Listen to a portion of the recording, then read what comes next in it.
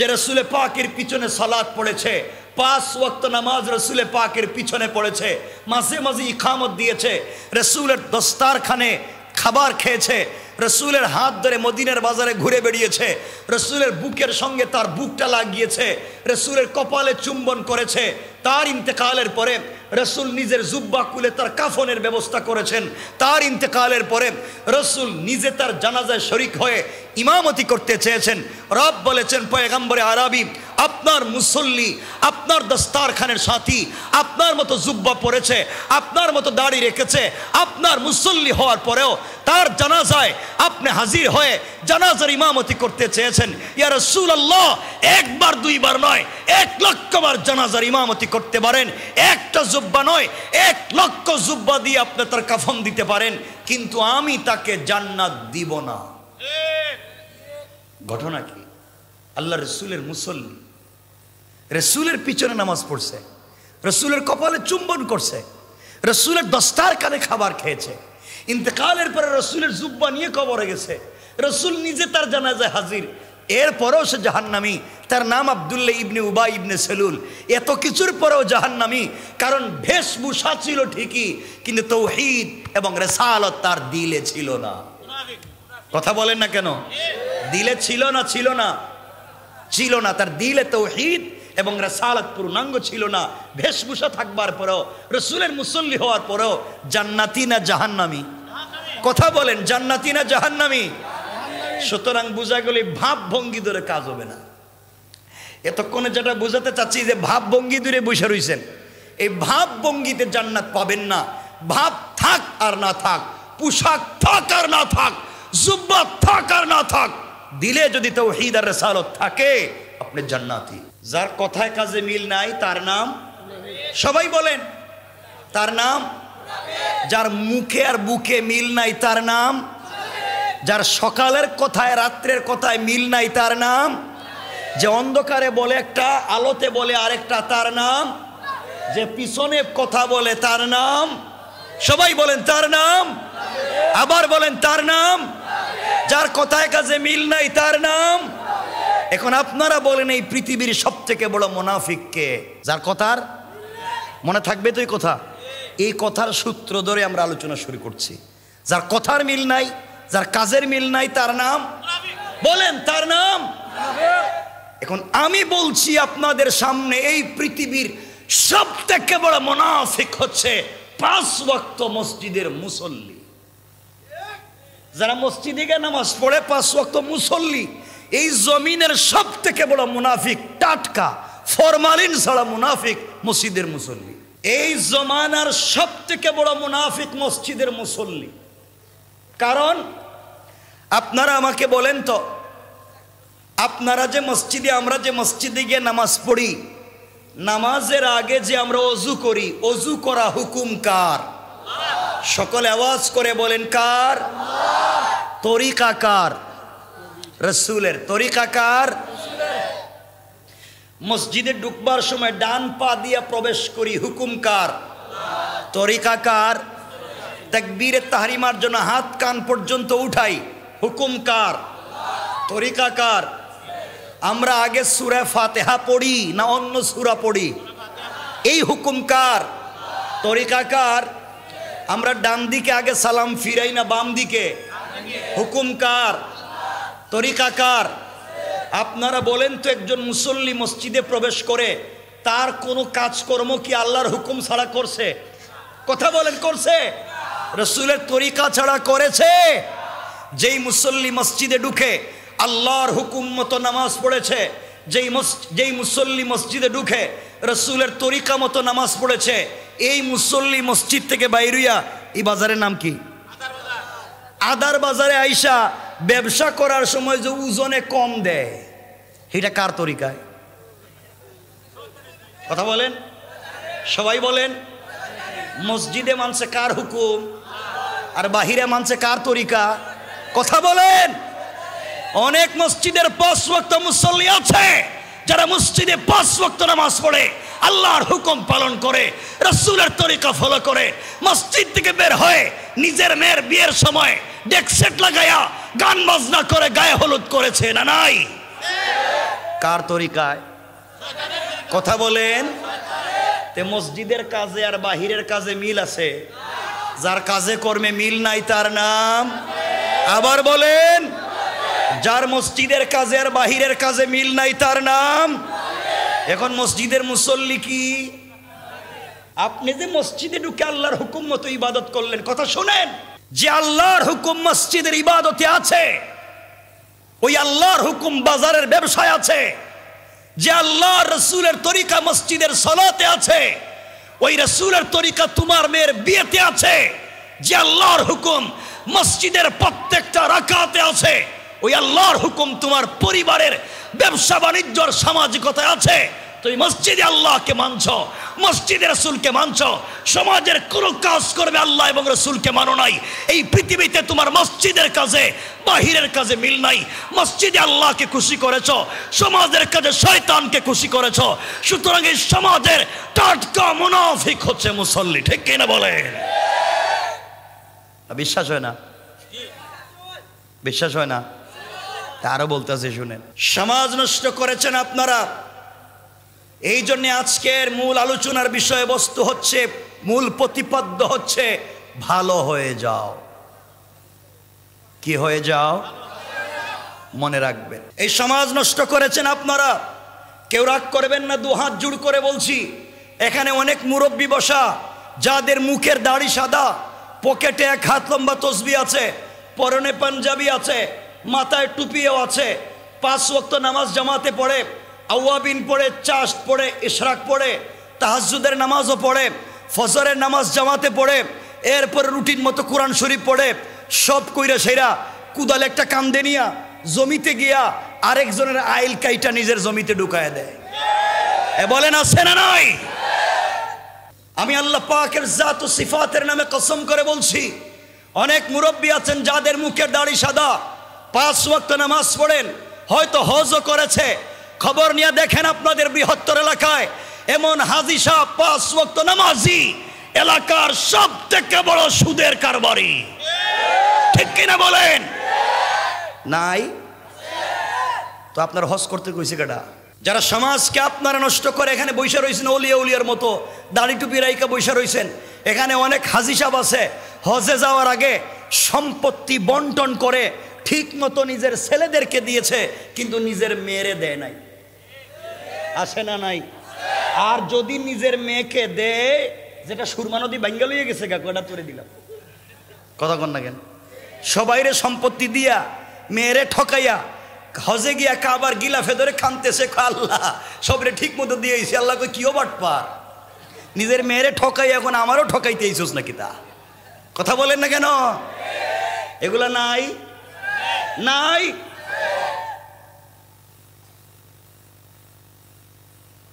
কথাগুলা দিল দিয়া শুনেন, সমাজ নষ্ট করে বৈশা রইছেন। আর আপনারা আবেগে তাকবিদের মিছিল করেন, এই দেশের বিরুদ্ধে যুদ্ধ করবেন, ওই দেশের বিরুদ্ধে যুদ্ধ করবেন। আরে বাপ এখন তো নিজের বিরুদ্ধে যুদ্ধের সময় শেষ হয় নাই। নিজেই তো একটা জালিম হয়ে বসে রয়েছে কথা বলেন না কেন? ভালো করে বুঝেন কি বলতে চাই।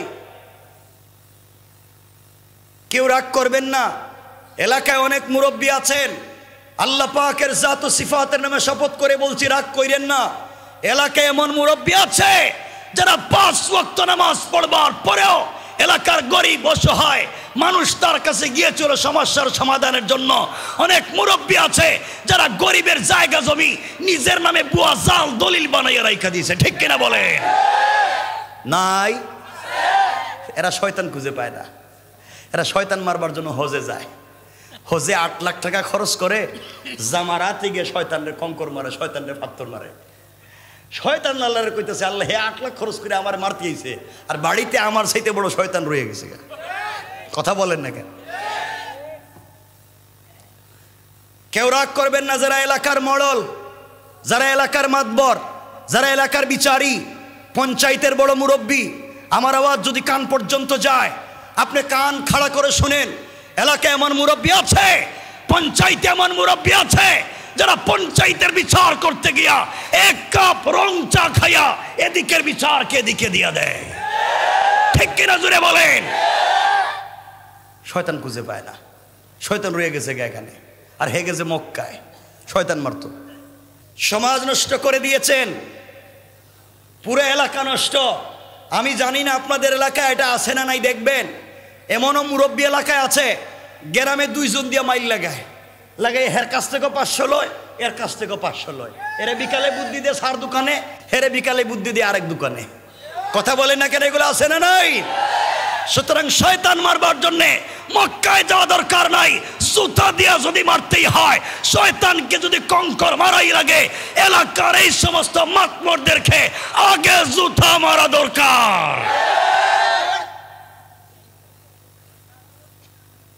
এই জন্য আমার আওয়াজ যদি কান পর্যন্ত যায়, ভালো হইয়া যাও। কি হয়ে যাও? সুতরাং যারা সুদের কারবার করো, আমার আওয়াজ যদি কান পর্যন্ত যায়, ভালো হয়ে যাও। যারা বাজারে ওজনে কম দেও, আমার আওয়াজ যদি কান পর্যন্ত যায়, ভালো হয়ে যাও। যারা এক নাম্বার জিনিস দেখাইয়া দুই নাম্বার বিক্রি করেন, যারা ফরমাল ইন্ডিয়া মাছ, সবজি বিক্রি করেন, আর ভাব ধরে মসজিদে প্রথম কাতারে তসবি পড়েন, এটা করলে ভালো হয়ে যাও। যারা ব্যবসা বাণিজ্য করতে গিয়ে শয়তানি বদমাইশি করে ভালো হয়ে যাও। যারা গ্রামের পঞ্চায়েতের বিচার করতে গিয়া টাকার বিনিময়ে টাকা খাইয়া পাঁচশো টাকার বিনিময় বিচারের রায় দেও, আর রায় দিতে না পারলে তিন চারটা তারিখ পালাইয়া পাঁচশো টাকা করে খাও। সুযোগ থাকলে ভালো হয়ে যাও। কথা বলেন ঠিক কিনা এই যে আপনারা আমার সামনে দাড়ি রেখে অনেকে বসে রয়েছেন, দাড়ি আছে, আমারও আছে, আপনাদের অনেকের আছে। আপনারা আশা করছেন ভাব ভঙ্গি ধরছেন, দাড়ি রেখেই জান্নাতে চলে যাবেন তোমার আমার চাইতে বহুত লম্বা দাড়ি, আজকালকের বহুত হিন্দু ভাইয়েরাও রাখে। না, নাই? তো তুমি কি ভাব ধরছে? হেও তো ধরছে। আপনি বলবেন, মাথায় সুন্দর একটা টুপি দিয়া, অথবা সুন্দর একটা পাগড়ি মাথায় দিলেই তো আল্লাহর ওলির মতো মনে হয় পীর সাহ আপনি মনে হয় জান্নাতি, চিন্তা বাদ দেন। তুমি আর আমি যে পাগড়ি পরি, এই পৃথিবীতে সব থেকে স্মার্ট পাগড়ি যারা পরে, তারা অধিকাংশই শিখ। কথা বলেন না কেন? শিখের মাথায় পাগড়ি দেখেন নাই? তে হেও তো বাপ ধরছে।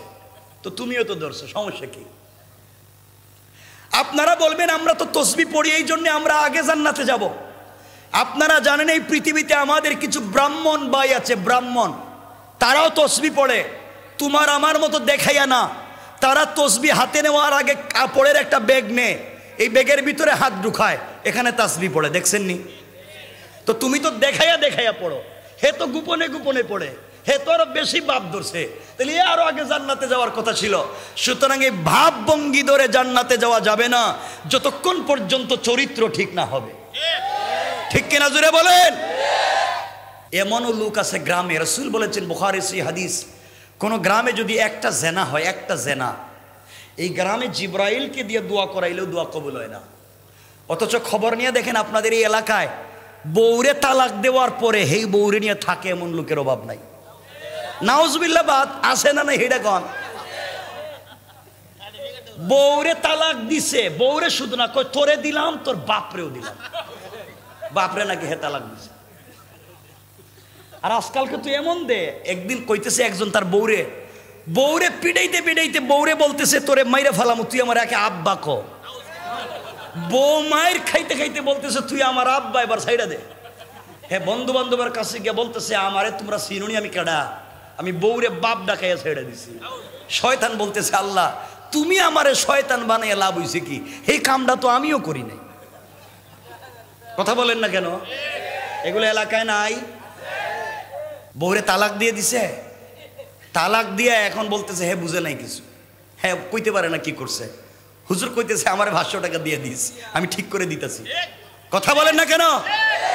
তালাক নির্বেজাল তালাক হওয়ার পরে যারা পাঁচশো টাকা এক হাজার টাকায় মিলাইয়া দেয় এর এই সমাজের আবু জেহেলের চাইতে আরও খারাপ ঠিক কিনা বলে?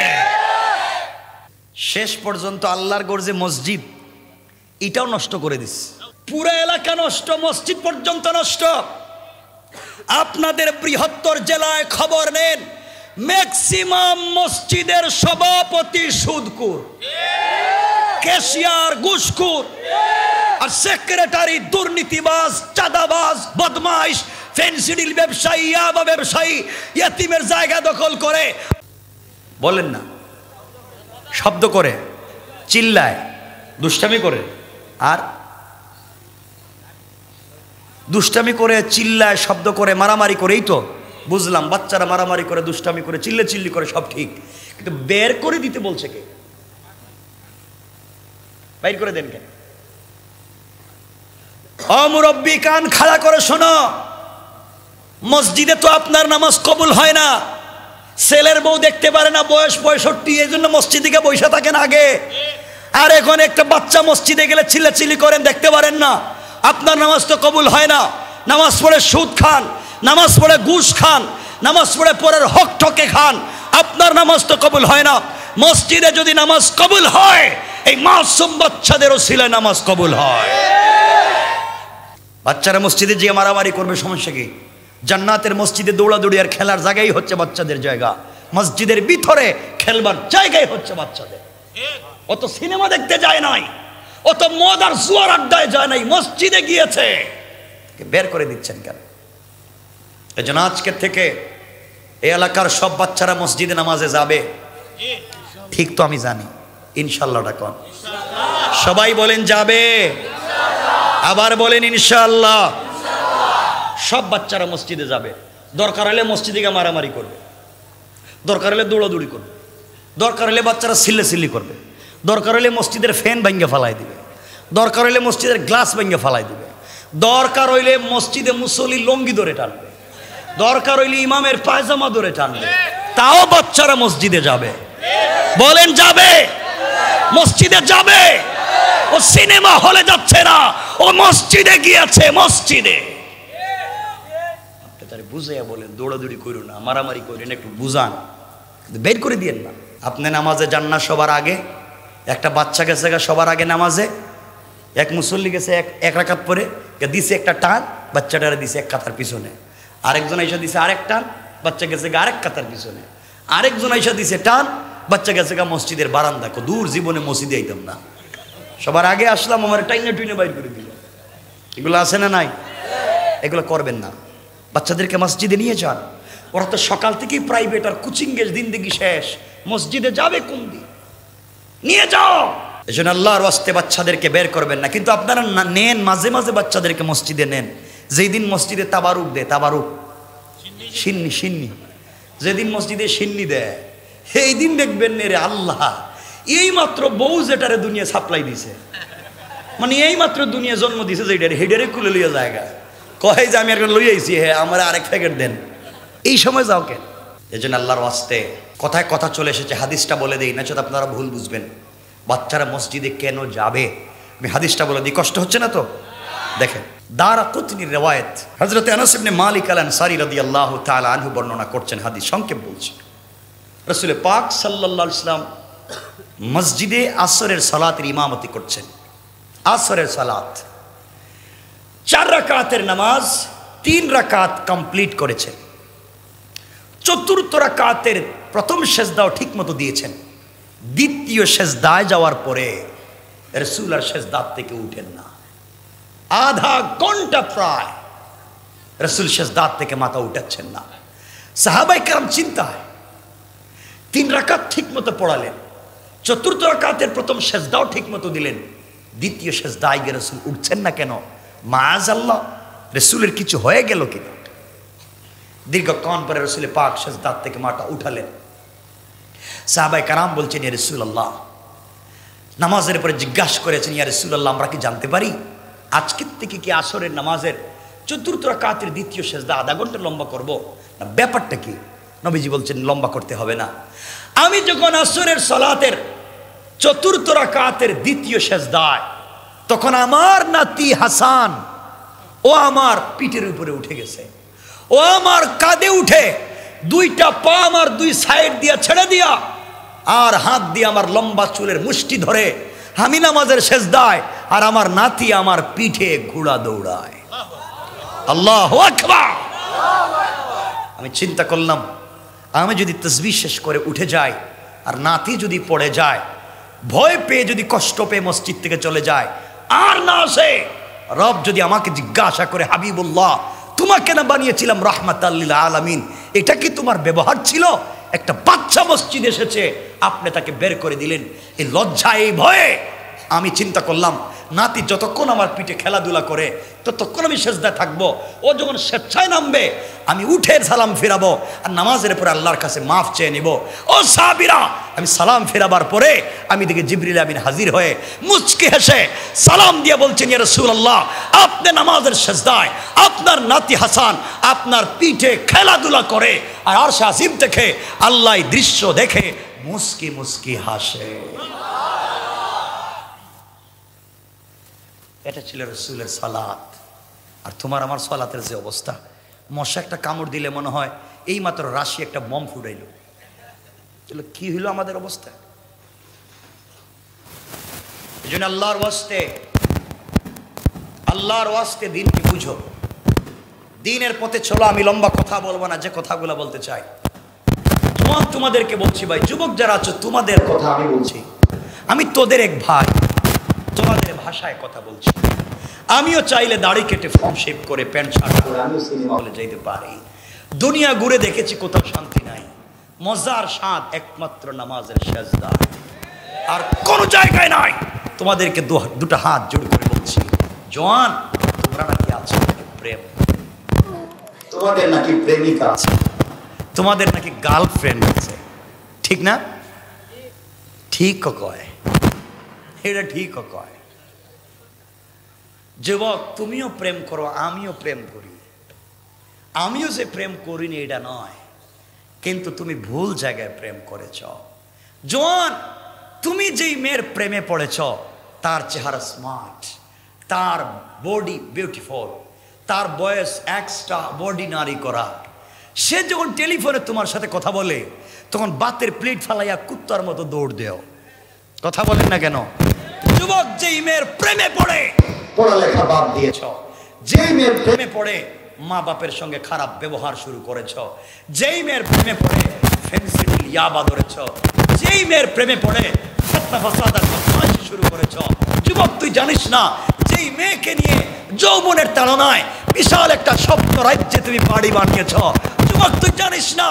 ওই মেয়ে যদি আগামী কালকে ঘুম থেকে উঠে সকালবেলা তোমার চাইতে স্মার্ট তোমার চাইতে টাকাওয়ালা আরেকটা যুবককে নিয়ে যায়, হয়তো তোমাকে ভুলে যেতে এক মিনিটও লাগবে না। যুবক, তুমি যেই মেয়ের প্রেমে পড়েছ, যার প্রেমে পড়ে তিরিশ বছর বিদেশে থেকে মাকে ভালো লাগে না, বাপকে ভালো লাগে না, মেয়ে যখন যা দিয়েছ, তার জিন্দগির সব করেছ দিন শেষে তাকে পেতে চাও। যুবক, তুই জানিস না, রাত জেগে জেগে যার সাথে কথা বললে। যুবক, তুই জানিস না, একটা দিন ইচ্ছা করে দেখ, মেয়েটা হয়তো টেলিফোন ব্লক করে দিবে। যুবক, আগামী কালকে যদি মেয়েটা আমেরিকান পাসপোর্টওয়ালা একটা যুবককে পায়, কানাডার আর ব্রিটিশ পাসপোর্টওয়ালা যদি কাউকে পায়, তোমাকে না জানাইয়া হয়তো চলে যাবে। জোরে বলেন ঠিক কিনা?